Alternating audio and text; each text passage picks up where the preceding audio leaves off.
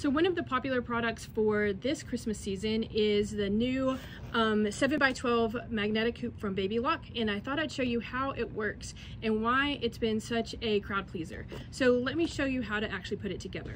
So here is the hoop and we have our magnets individually and then I've got uh, some fabric to work with. So you just take your hoop and set it in front of you and we're gonna add the fabric on top.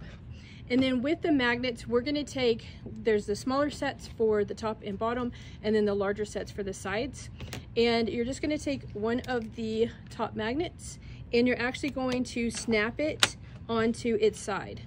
Then what you wanna do is work away from you in the opposite position. So you can smooth that fabric down and scoot that magnet across the fabric, and you're just gonna continue to do that. So we're gonna come back and do the short sides, and smooth our fabric and lock in those magnets.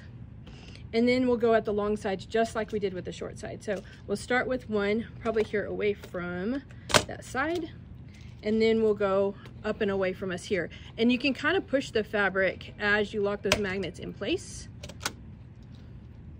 Then we have two more. So there we have those last two magnets. And if you've ever hooped on your own and you know how hard it is to get all that in there, I am done and ready to be in the machine.